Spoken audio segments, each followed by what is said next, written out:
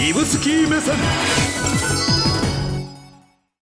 突然のことで現地でも驚きを持って受け止められているようですけれどもたった6時間の間にごろっと変わってまた変わるという、ね、予兆があったのかというと、はい、そういったニュースもちょっと聞いていなかったので、うん、本当に夜入ってきてびっくり朝見てまたびっくりっていう方が多かったと思うんですけれども、うん、もう日本も人事じゃないと問われる民主主義というところで、まあ、やっぱりね戒厳令となっていろんなことが制限されますので、まあ、韓国の国民の方もだいぶ、まあ、お怒りというか、はい、っていうものも行動で示されたのかなというふうに思うんですけども、まずなぜこういった非常戒厳という宣言が出されたのかというところなんですけれども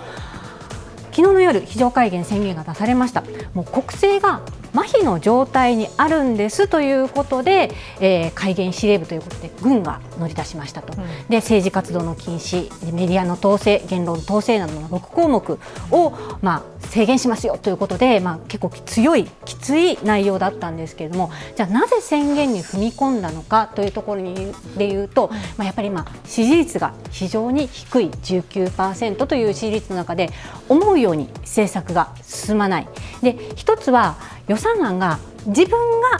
通したい予算が進まない、野党が進めたい予算だけが進むというところで、まあ、今回ねあの4月ですね今年の4月の総選挙ではもう大敗しているという、まあ、これも一つの民意なんですけれどもここのねじれ現象が一つユン大統領をちょっとイライラさせていたと、うん、でもう一つは、まあ、政府高官らへの弾劾訴追っていうものが22件今進んでいるということで、えー、例えば司法の場であったりとか行政の場で進まないことが多かったということで、まあ、国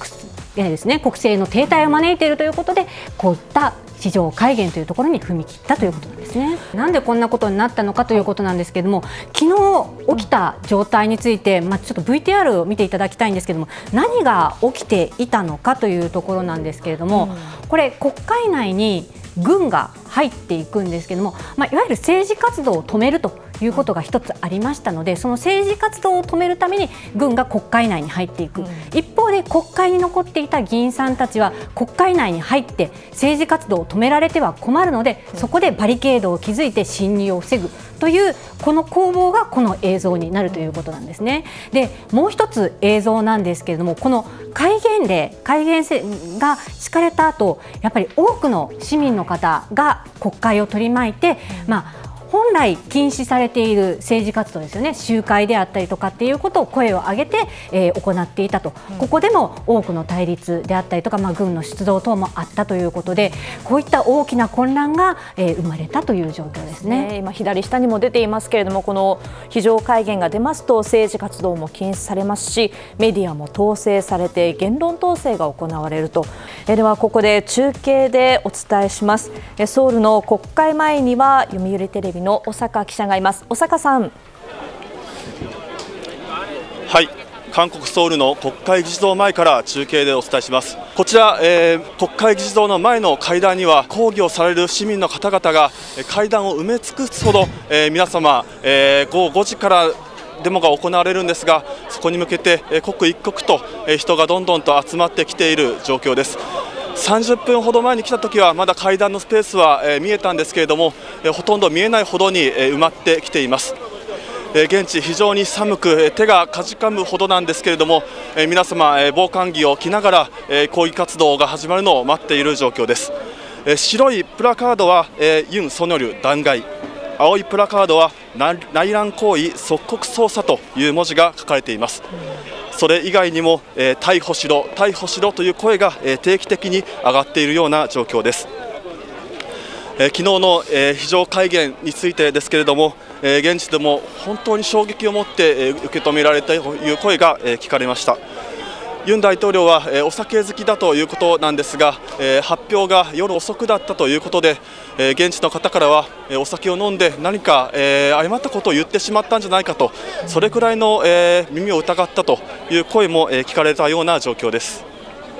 はい、大阪さんあの生活皆さんの生活への影響は何か取材を通して感じますか？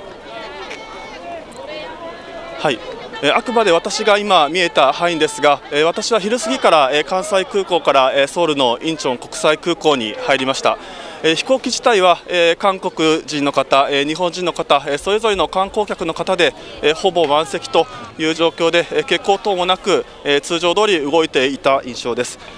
その他、空港からこの国会に至るまでの道も、目立った混雑というのは、見受けられませんでした。えー、今日は学校ですとか多くの企業も、えー、通常通りの、えー、営業ですとか、えー、通常通り、えー、学校も開いているということです。また、えー、宣言が解除されるよりも前ですでに、えー、学校は通常通り、えー、開校する休校しないというテレビの報道もあったと、えー、聞いています。以上中継でした、はい、さあ今後いろんな選択肢があるということですけれどもどう進んでいくのかも含めてですね。すね。あの、はい、やっぱり韓国の中で歴史っていうものが大きくや影響を及ぼしているというところはあると思うんですね。一つが皆さん今回の件で、まあ、あの口々にあの事件を思い出したというのが、えー、公衆事件とも言われる、えー、事件ですね、はい、えー、なんですけれどもクアンジュ事件と言われるものなんですけれども、えー戒厳令に抵抗する市民らを軍が鎮圧して166人の方が亡くなっているという事件。1980年に起きた事件なんですけれどもやっぱり深く心に刻まれている残っていらっしゃる方が多いということだと思います。あの言論統制が行われて、まあ、この中ですね。あのこの街の中で、えーメディアが入れない状態の中で武力での鎮圧市民活動に対する武力での鎮圧が行われたということなんですね、こういった歴史を持っているとやっぱり50代以上の方にとっては言論統制されるっていうのは大きな、まあ、抵抗感というか、あることだと思うんですけどもこういったところも含めて今回すごく早く市民の方が動かれたりとか、まあ、結局ユン大統領がまあ解除するということに至った一つの一因ではないかなというふうには思います。ただなぜこう、まあ、早期の解除というのも、まあ、ある程度見えてたと思うんですけれども、ね、こう踏み切ったんでしょうそうですねあの先ほど、まあ、起死回生という言葉もあったかと思うんですけれども、この起死回生をなんとかユン大統領が図りたかったんではないかというふうに思われます。うん、であの先ほどもありましたけれども、まあ、今、議席数が国会野党が192議席与党が108議席ということでやりたい政策の予算が全く通らないと、えー、大統領府に関する特別費であったりとかも、まあ、0円ですよということで野党に通されてしまう。というふうになるとそこができないということで戒厳令の下でこれを民意の問い直しっていうのをしたかったんではないかということなんですね。大統領の支持率は非常に低いんですけれども、これ政党で見ると与党は32%、最大野党33%というところで、ここに関しては拮抗しているというところもあるんですね。というところを見ると、なんとかひょっとして